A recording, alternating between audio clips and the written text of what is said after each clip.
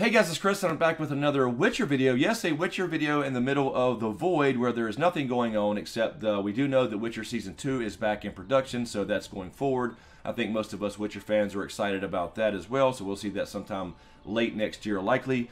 But I was surprised today that Netflix actually announced a Witcher spinoff.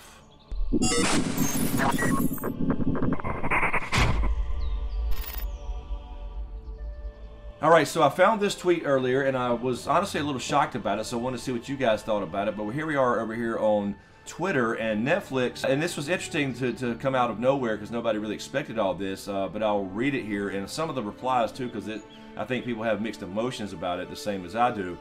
1200 years before Geralt of Rivia, the worlds of monsters, men, and elves merged into one, and the first Witcher came to be announcing The Witcher Blood Origin, a six part live action The Witcher spin off series from Declan de and Lauren Schmidt uh, Hissrich, I believe is how you pronounce that. I apologize if I'm mispronouncing that. So they're already announcing a Witcher spin-off, The Witcher Blood Origin, uh, about the first Witcher when it was created. So I thought that was interesting. I have mixed emotions about it because it's almost like you know you're excited to hear about you know the history and lore even if you only saw the tv show and hadn't, have not read the books where it is kind of spelled out as far as the history and lore.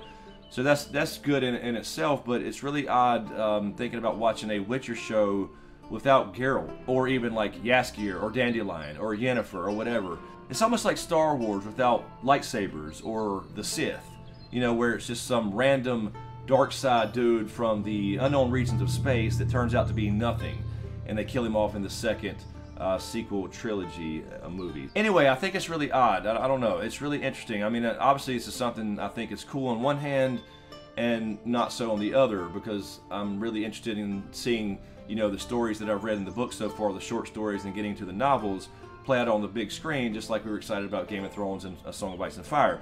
So let's read a couple of these responses. This first one here, uh, kind of what I'm saying, I don't want an origin story for the first Witcher. I get that some might, but why? I like the mystery of the origins and history. I like that the monsters are just part of the world. Doing this feels like giving us something we don't need. Uh, and Jack responds, uh, you know, well, I mean, you could always just not watch it. And I agree with that. You know, you don't have to like it or whatever. That's fine too. But, you know, he's just saying that he, he would like, he likes just the world being like it is and everything don't have to be explained. But it is actually explained in the books, the backstory and everything. So, let's see there's here's another one. Uh, there's been one season and you think it, it's earned a spinoff. And along the same thread we have somebody saying here you know what the fuck uh, fix the witcher first season one was not good. I disagree with that. It was good. It wasn't great. It had its problems but i think overall it was pretty damn good. And i look forward to season two. And the things will start looking better as their budget increases obviously uh, just like remember game of thrones had the same issue. Let's see just me i would love for a show to be completely faithful to the books at once so it can be 326 hours long and dreadfully boring and terrible so people understand that it's a different medium that would not translate perfectly. It's a fair point. You know, people are bitching about how things are, you know, modified to fit TV, and you just can't do it exactly the same way because it literally would be 326 hours long with people sitting around talking.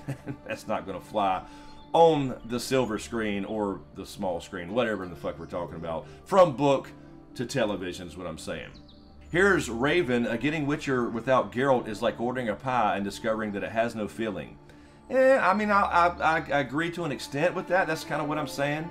Uh, it don't always have to be about Geralt because there are other great characters, and you know, it's almost like the Fire and Blood argument with Game of Thrones. We got Fire and Blood coming, and we're going to be watching, you know, Targaryen history that we've all read about.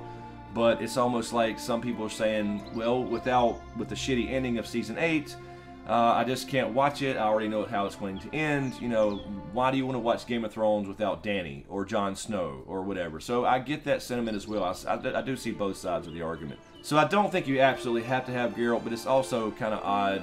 I, I don't know, because I really am not going to really be invested and this first Witcher. Now, going back to this main tweet here, the 1200 years before Geralt of Rivia, the worlds of monsters, men, and elves merged into one, and the first Witcher came to be. It sounds like they're talking about kind of the conjunction of spheres timeline, but if we jump over here to the Witcher fandom page, it talks about the conjunction of the spheres. It says here, the conjunction of the spheres was a cataclysm that affected the whole multiverse and occurred 1500 years before the events in the novels, trapping many unnatural, in quotes, creatures in this dimension, including ghouls, grabbers, and vampires, Rifts were created by the collision of many different realms, filling the world with gnomes and dwarves, with hundreds of creatures of all shapes and sizes, as well as a mystical force that came to be known as chaos or magic. And if you scroll down a little bit, a cataclysm occurred 1500 years ago, trapping in our dimension unnatural creatures, including ghouls, vampires, etc. These beasts have no e ecological niche niches in their own, and they're merely relics of bygone times. According to Elven lore, humans arrived during the conjunction their own world having been destroyed. These humans' ancestors learned how to harness the power of primordial chaos, and thus the first human wizards were born. So we've seen some of that as well. But also, if you jump over here to the timeline, it's really interesting. You have basically the canon, the book canon here, and then you have the Netflix show canon. So in the book canon, you have the conjunction of the spheres around 230 BR. But if you scroll on down here, you do see that around the time of, I think, 11, no, I'm sorry, 950, uh, the first Witchers are created by the renegade mages Alzur and Kazimos. So there is the timeline for the first Witchers to be created. And if you scroll down a little bit more right here, you can see that uh, the Witcher Vesemir is noted as being active in fulfilling the duties of, of his profession during this year. And I believe Geralt was born in like 1168, and it's not on here, interestingly enough, on this particular timeline. Uh, here's 1173. Yennefer was born. But what's interesting, if you jump over here to the Netflix canon, because this is a different timeline, apparently, from the books, although it's based off the books, it's kind of just a looser type of thing uh, without as much detail. You have Undefined Past, the conjunction of the spheres. That's obviously what we're just talking about. And then if you jump right down here, you have um, right here, 19, uh, 967, the creation of the first Witcher. So during this timeline, it's a little bit different. And then you see Geralt is born in 1160 here, as opposed to, I believe, 68, if I'm not mistaken, in the book lore. But uh, anyway, so this is basically the timeline they're going off of. And uh, I don't know. It's just really interesting that they're going to be announcing the show based off lore and history and what origins and that type of thing.